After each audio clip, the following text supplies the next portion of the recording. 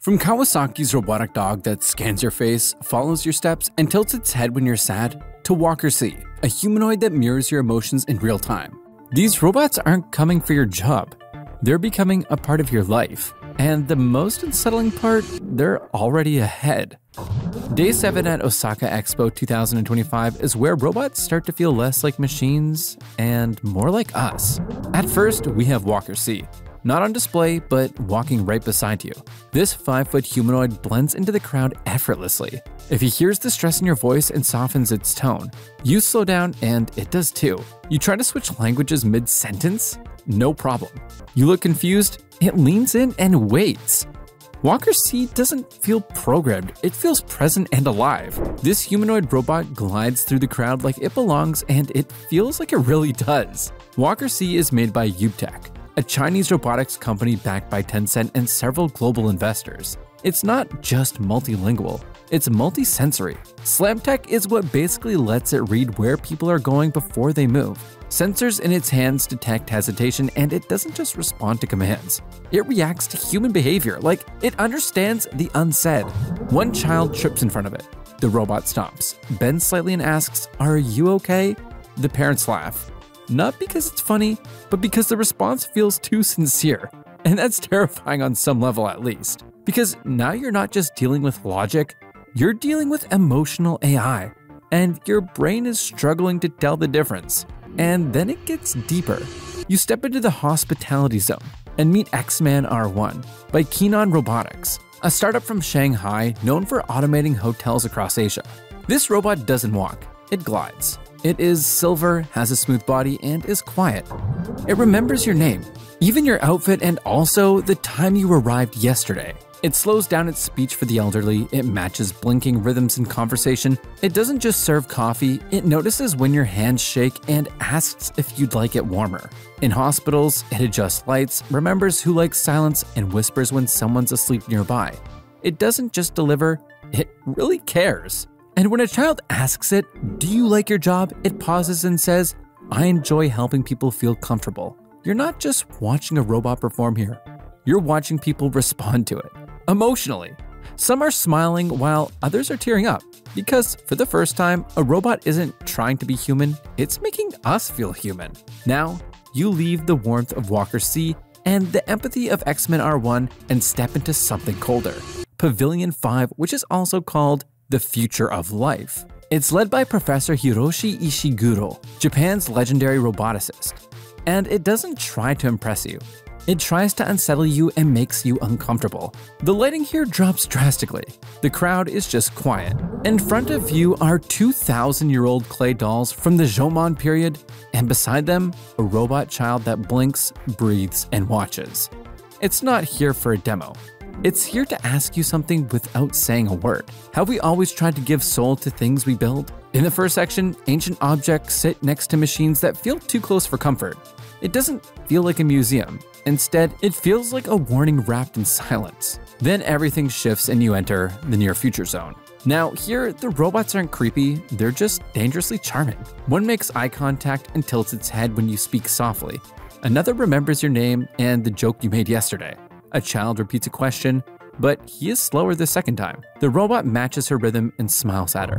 Her parents also look shocked. One man whispers to his partner, It was like it was waiting for her. These robots aren't acting human, they're predicting humans. And it's working. People are leaning in and some are even bowing, without realizing that these are just robots and not actual humans. Professor Ishiguro calls this deep mimicry, and says if it breathes with you, you forget it's a robot. But then comes the final zone. And believe me, it's pure sci fi. These robots don't even look human anymore. One glows a blue color while another hums a song in a soft tone. One even writes a journal with lines like, Child smiled. I smiled back. Someone asked the robot why it's humming and it says, A visitor sang it. I liked it. These bots aren't just reacting, they're basically reflecting. And that's what freaks people out. Because now you're wondering if it remembers, responds, and reflects, is it alive? Even the staff acts differently here in this section. They don't explain much and let you figure out everything on your own. One man places flowers at a robot's feet and nobody stops him or moves the flowers. Some visitors even return twice, not for the tech, but the feeling. It's like a temple built by circuits. A guest says to his friend, It's the quietest place I've ever heard my own thoughts. Another person calls this place spiritual. This isn't about convenience or tech specs anymore. It's about identity. These robots don't just replace action, they challenge emotion because here you feel like you're being watched, and not in a bad way, but in a deeply personal way. Now, as you exit the Future of Life section and you walk into the SkyDrive Pavilion, your instinct is to look up. There, hanging from the ceiling like a giant insect out of a sci fi movie, the SD05, a flying electric vehicle that doesn't just promise the future, it brings it 5 feet off the ground. It's real, it flies, and it's quiet. It has 8 rotors and are all electric. It also has 2 seats and 1 touchscreen. Wanna know something fun?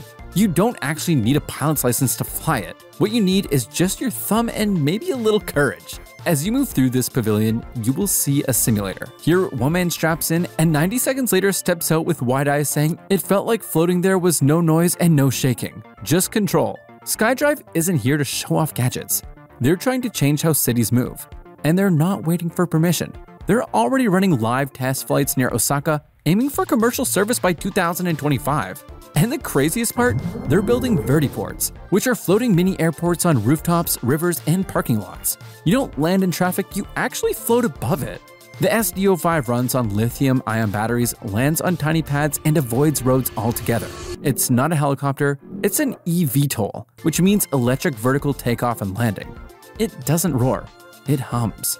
People standing underneath it while it hovers can still hear each other talk. So, what's SkyDrive's goal? They actually want to make air travel as normal as catching a bus, but faster and cleaner. Inside the pavilion, you also see models of future neighborhoods like skylanes, rooftop charging pads, and air maps instead of GPS routes. It's like the city has grown wings. And that's when the crowd starts whispering. Someone asks, What happens if the battery dies midair? A guide explains. It glides down slowly, like a drone, and also has its own backup system.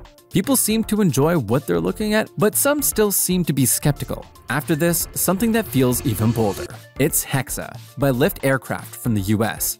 It's smaller in size, it's simpler, and even more shocking, it has one seat, 18 rotors, and is controlled by a tablet. That's it. No license required for this one either.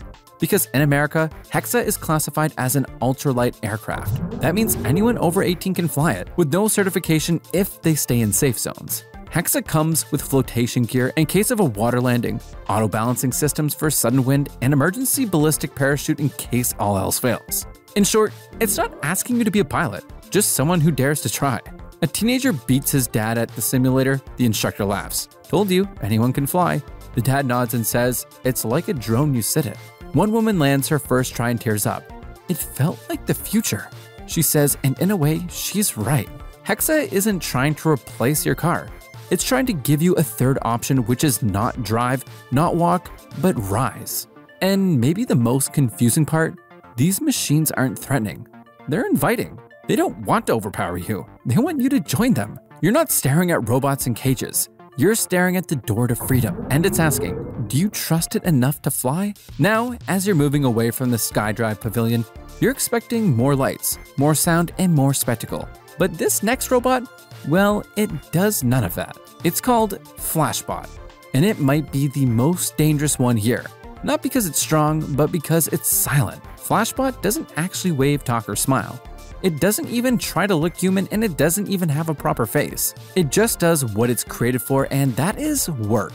Built by Orion Star, a robotics company from China with backing from tech giants like Baidu, Flashbot is already deployed across hospitals and hotels in Asia. It stocks shelves, delivers water, navigates elevators, and remembers where you last stood, all with zero drama. At the expo, it glides across the floor, but people barely notice it until it does something surprising. A man asks it, Can you grab that? While pointing vaguely toward a shelf. Flashbot hears it, analyzes the tone, and turns. He retrieves the item without pressing a button and requiring no confirmation. That's when you realize this thing understands context and not just language, but also intent. It's using a mix of LiDAR cameras and microphones to map spaces and people in real time. But more than that, it's also adapting with the environment. If someone raises their voice, it keeps a distance. If someone's injured, it approaches slower and lowers its arms. And in hospitals, it knows the difference between urgent and routine. It won't interrupt a nurse mid sentence and it won't roll over cables or crowd tight corridors. Nurse says, it doesn't replace me, but it remembers what I forget. Another adds, it's like a quiet worker who's always on time. In hotels, Flashbot does more than carry luggage. It memorizes lighting preferences, thermostat settings, and even music choices from past visits. One guest says, It remembered I like jazz in the morning. That's wild. It even understands nonverbal cues like hand gestures and nods. They're training it to understand basic sign language. It's not trying to win hearts, it's actually earning trust. And maybe that's scarier than a robot that looks human, because Flashbot doesn't need personality, it just needs memory and presence. You don't argue with it and you don't expect affection. But slowly, you depend on it, and that's the danger. Not domination, but dependence.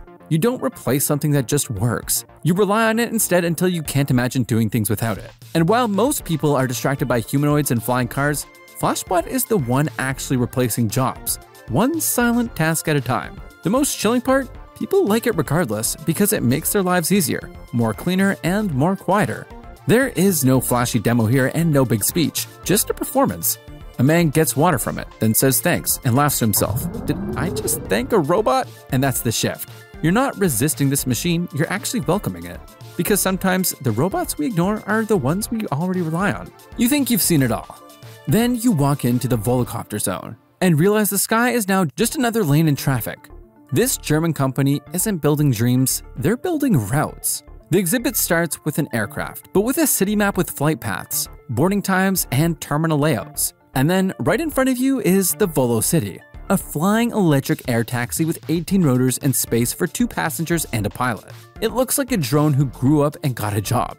It's built for cities. 110 km is the max speed and also has a 35 km range. All of this is enough to take you from Osaka Station to the Expo Bay in under 10 minutes. But what grabs you isn't the specs, it's the system itself. The pavilion has check-in kiosks, app demos, and simulated trips. You don't feel like you're at a tech showcase. You feel like you're at an airport, one where the gates float. Volocopter is working directly with Japan's government. They're running test flights, building vertiports, and training local staff. They even partner with Japan Airlines to make flying taxis a reality. One mom says, If it gets me home faster after work, I'll take it. Another guest stares at a model vertiport and whispers, This is going to change everything. You also overhear someone ask, Will it work when it's raining? A guide replies, Yes, and it's more stable than a regular car in the wind. VoloCity runs on lithium ion batteries, charging in under 30 minutes, and comes with triple redundancy, meaning even if two systems fail, it can still land safely. Fly-by-wire tech also keeps it stable in wind. And the cabin?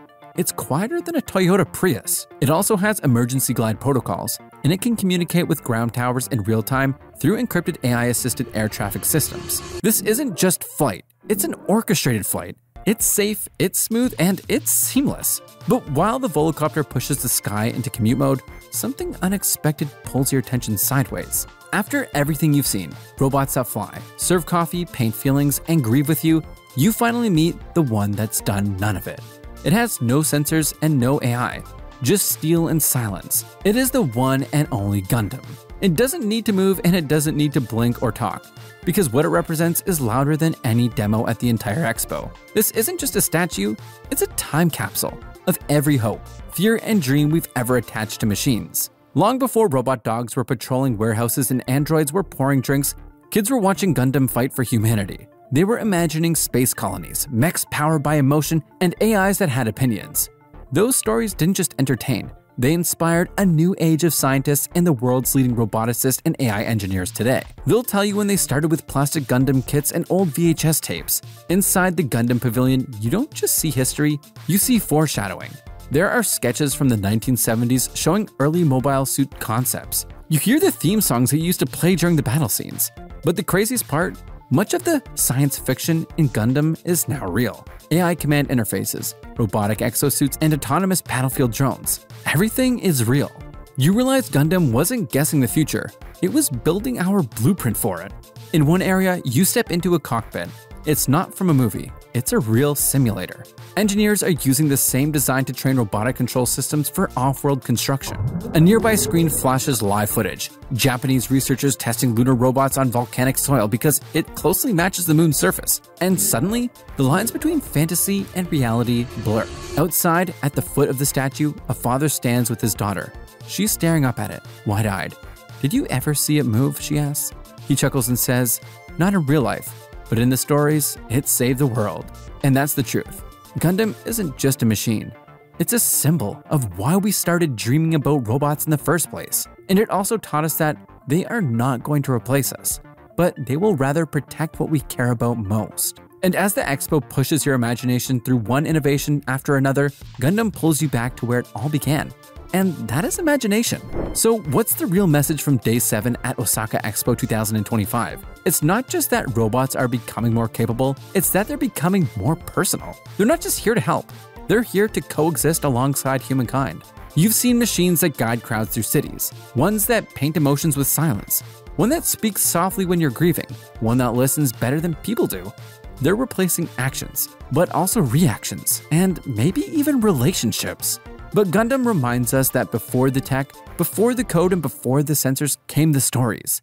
And those stories are shaping what kind of future we're walking into. So the question is, what kind of future do you want to be part of? Because this isn't just about robots. It's about transformation in how we live, feel, connect, and even what we believe is possible. The machines at Osaka Expo 2025 don't just show us what's new, they show us what's next and how close we are to living in the future we once only imagined. And if this opened your eyes, you're going to want to see what's unfolding across the globe. Right now, in Las Vegas, the CES Expo is revealing the other half of the story. Here, you will find not just emotional robots, but full-scale smart cities, wearable AI, and devices that can literally hear your thoughts. This isn't just a tech upgrade, it's the other side of the future you just saw. Tap here to watch CES Expo Day 2 and discover what the world's boldest innovators are building next. Keep watching, because the future doesn't pause and neither do we.